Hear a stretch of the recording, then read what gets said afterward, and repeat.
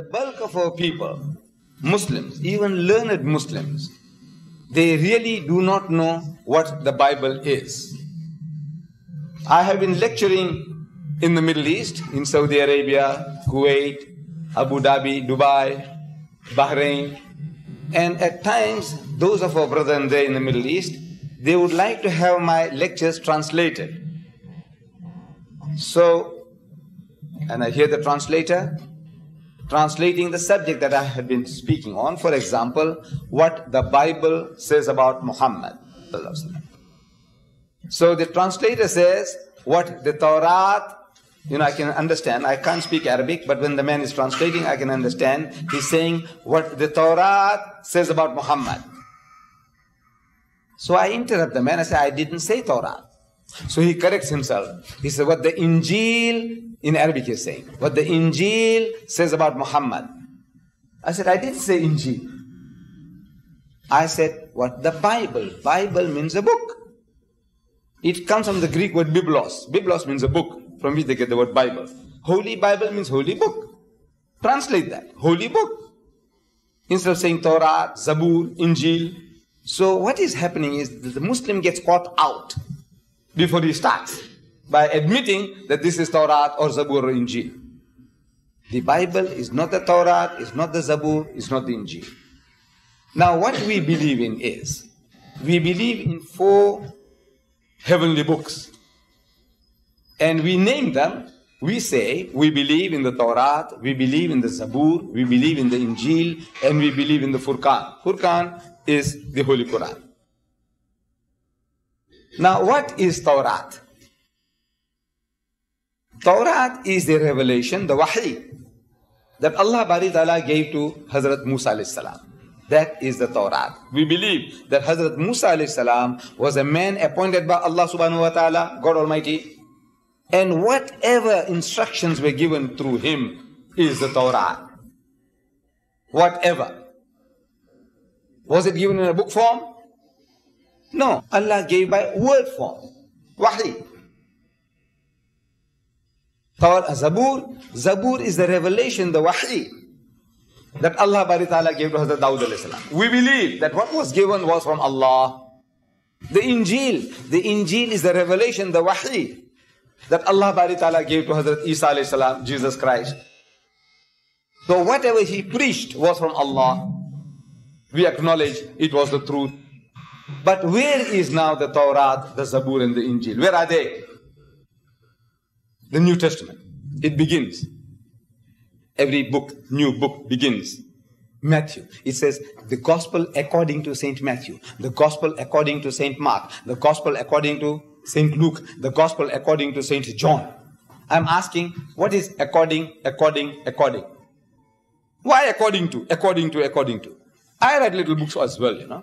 But you'll find my name there by Ahmad Deedat. It's not according to Ahmad Deedat. If you wrote it, thinking that I had said or I meant such and such thing, then you can say, according to Mr. Deedat, you know, this is his theory, or this is what he said. It might not be true. You might have misunderstood. But if I write a book, I put my name. Matthew didn't write his name. Mark didn't write his name. Luke didn't write his name. John didn't write his name. These are anonymous books. And you think, well, maybe, you know, this can only come from Mr. Deedat, so you put Deedat's name. This can only come from Brother Farrakhan, so you put his name. This can only come from Brother Waris Muhammad, so you put his name. You have no right to do that. Nobody has a right to do that.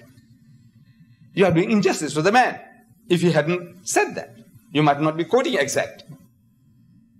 So, according to Matthew, according to Mark, according to Luke, according to St. John. And internal evidence shows that also that they didn't write the book. This is what you see from the outside on the heading. They put, the Christians put the heading.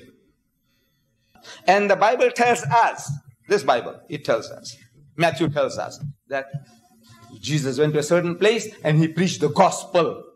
In Arabic, Injil. Gospel means the good news. Translated into Arabic, Injil. He went and preached the Injil. Mark says he went to a certain other place and he preached the Injil. Gospel. Luke tells us that he went to a certain place and he preached the Injil, gospel, Injil. And John tells us that Jesus went to a certain other place and he preached the gospel, Injil. I'm asking, did he carry a book around under his arm, under his arm? Did he? Injil? That he, every time he took it out? In the beginning was the Word, and the Word was with God, and the Word was God. Is that what he was doing? No. Whatever revelation Wahi Allah gave him, that is the Injil. Now they tell you, the Christians themselves, you don't have to do any homework with regards to the Bible. You don't have to make any new discoveries. Whatever they gave you, learn from them and use it. They tell you now, they translate the Bible, the New Testament, into Arabic. They have for the Arabs 11 different Arabic Bibles. I have samples of them. 11 different. I thought there was only one Arabic language. But I'm now told that there are 11 different dialects. And every dialect group is said, look, we got it for you. You are Palestinian, we got it for you. What are you? Moroccan, we got it for you. Tunisian, we got it for you. Southern Sudan, we got it for you. What are you? Syrian, we got it for you. 11 different Bibles for the Arabs alone. In Arabic, different dialects. So, the Arabic translation, the book begins. It says, Injile Matthew, Injile Marcus, Injile Lucas, Injile Johanna. Right, right. We accept. You say Injile, Matthew, Marcus, Lucas, Johannes. Okay. I said, where is Injile Isa? Look, we believe, what did we say?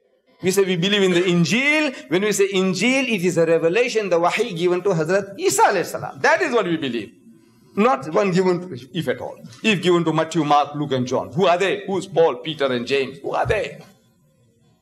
We are made to accept is the wahi Allah gave to Hazrat Isa salam. Injil Isa. Bring it.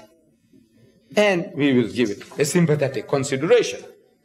If it is from Hazrat Isa salam. But these are not the works of Isa salam. Can you see? Look, they are telling you. Why must you go out of your way and say, this is the Torah, this is the Injil, this is the Zabur, and you get caught up with it? No, it's lack of knowledge. Now, all this information is available very freely.